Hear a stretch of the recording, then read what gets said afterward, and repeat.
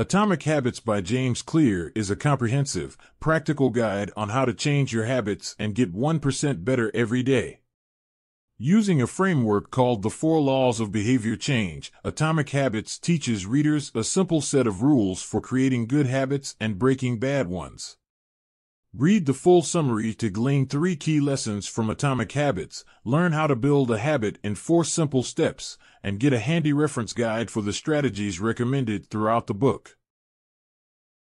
Three key lessons from Atomic Habits. This section of the Atomic Habits summary presents key points from three of the core themes of the book. Lesson 1 Small habits make a big difference. It is so easy to overestimate the importance of one defining moment and underestimate the value of making small improvements on a daily basis. Meanwhile, improving by 1% isn't particularly notable, sometimes it isn't even noticeable, but it can be far more meaningful, especially in the long run. The difference a tiny improvement can make over time is astounding. Here's how the math works out. If you can get 1% better each day for one year, you'll end up 37 times better by the time you're done. Conversely, if you get 1% worse each day for one year, you'll decline nearly down to zero. What starts as a small win or a minor setback accumulates into something much more. It doesn't matter how successful or unsuccessful you are right now. What matters is whether your habits are putting you on the path towards success. Focus on getting 1% better every day. Lesson 2 Forget about setting goals. Focus on your system instead. Goals are about the results you want to achieve.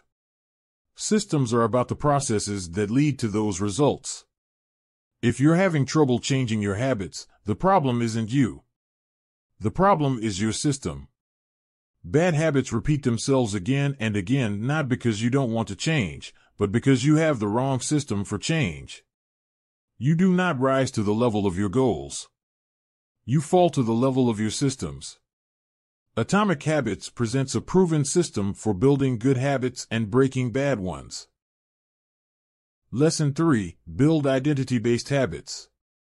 The key to building lasting habits is focusing on creating a new identity first. Your current behaviors are simply a reflection of your current identity. What you do now is a mirror image of the type of person you believe that you are, either consciously or subconsciously. To change your behavior for good, you need to start believing new things about yourself. You need to build identity based habits. Changing your beliefs isn't nearly as hard as you might think. There are two steps. 1. Decide the type of person you want to be. 2. Prove it to yourself with small wins. Your identity emerges out of your habits. Every action is a vote for the type of person you wish to become. How to build better habits in four simple steps. This section of the Atomic Habits Summary presents key points from the actionable strategies in the book, organized around a framework called the Four Laws of Behavior Change. The process of building a habit can be divided into four simple steps cue, craving, response, and reward. Breaking it down into these fundamental parts can help us understand what a habit is, how it works, and how to improve it. The cue triggers a craving, which motivates a response, which provides a reward, which satisfies the craving and, ultimately, becomes associated with the cue. Together, these four steps form a neurological feedback loop cue, craving, response, reward, cue, craving, response, reward that ultimately allows you to create automatic habits. This cycle is known as the habit loop. We can transform these four steps into a practical framework that we can use to design good habits and eliminate bad ones. The framework is called the Four Laws of Behavior Change, and it provides a simple set of rules for creating good habits and breaking bad ones. How to create a good habit. The first law, cue make it obvious. The second law, craving make it attractive. The third law, response make it easy. The fourth law, reward make it satisfying. How to break a bad habit. Inversion of the first law, cue make it invisible. Inversion of the second law, craving make it unattractive. Inversion of the third law, response make it difficult. Inversion of the fourth law, reward make it unsatisfying. How to create a good habit. The first law, make it obvious. 1. Fill out the habit scorecard. Write your current habits to become aware of them. 2. Use implementation intentions. I will. Some behavior. At. Time. In. Some location. 3. Use habit stacking. After. Current habit. I will. New habit. 4. Design your environment. Make the cues of good habits obvious and visible. The second law, make it attractive. 1. Use temptation bundling. Pair an action you want to do with an action you need to do. 2. Join a culture where your desired behavior is the normal behavior. 3. Create a motivation ritual. Do something you enjoy immediately before a difficult habit. The third law, make it easy. 1. Reduce friction. Decrease the number of steps between you and your good habits. 2. Prime the environment. Prepare your environment to make future actions easier. 3. Master the decisive moment.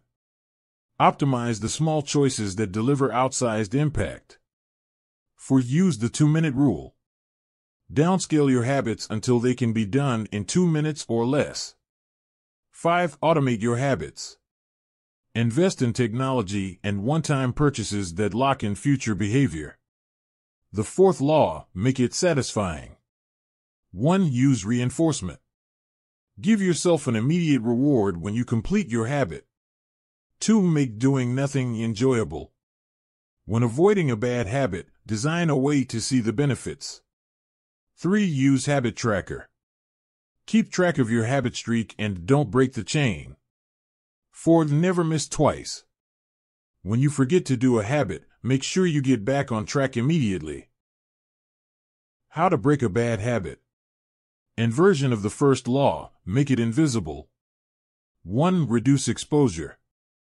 Remove the cues of your bad habits from your environment. Inversion of the second law, make it unattractive. 1. Reframe your mindset. Highlight the benefits of avoiding your bad habits. Inversion of the third law, make it difficult. 1. Increase friction. Increase the number of steps between you and your bad habits. 2. Use a commitment device. Restrict your future choices to the ones that benefit you. Inversion of the fourth law, make it unsatisfying. 1. Get an accountability partner.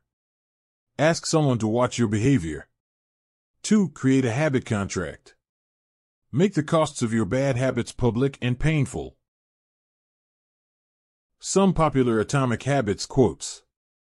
1. Every action you take is a vote for the type of person you wish to become. No single instance will transform your beliefs, but as the votes build up, so does the evidence of your new identity. This is one reason why meaningful change does not require radical change. Small habits can make a meaningful difference by providing evidence of a new identity. And if a change is meaningful, it is actually big. That's the paradox of making small improvements. Two, all big things come from small beginnings. The seed of every habit is a single, tiny decision. But as that decision is repeated, a habit sprouts and grows stronger. Roots entrench themselves and branches grow.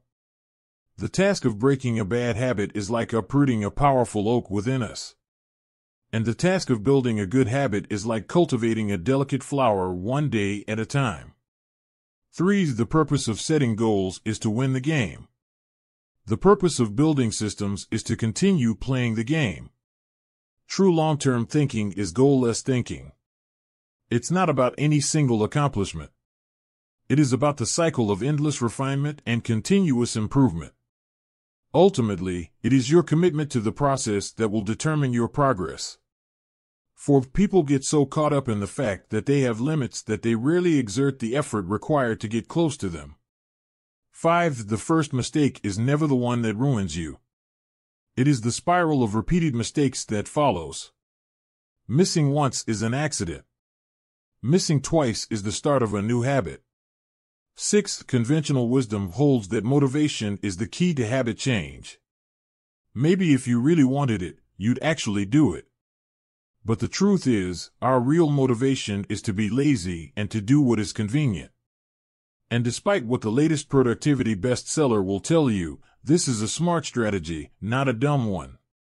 7. When scientists analyze people who appear to have tremendous self-control, it turns out those individuals aren't all that different from those who are struggling. Instead, disciplined people are better at structuring their lives in a way that does not require heroic willpower and self-control. 8. Some people spend their entire lives waiting for the time to be right to make an improvement. 9. Whenever you want to change your behavior, you can simply ask yourself, how can I make it obvious? How can I make it attractive? How can I make it easy? How can I make it satisfying? 10. Over the long run, however, the real reason you fail to stick with habits is that your self-image gets in the way. This is why you can't get too attached to one version of your identity. Progress requires unlearning. Becoming the best version of yourself requires you to continuously edit your beliefs and to upgrade and expand your identity. And this is all about the book. Thank you so much for tuning into my audiobook. Your support means a lot to me. If you enjoyed what you heard and want to hear more, consider subscribing to my channel. Your subscription helps me create more content like this. Thanks again for listening.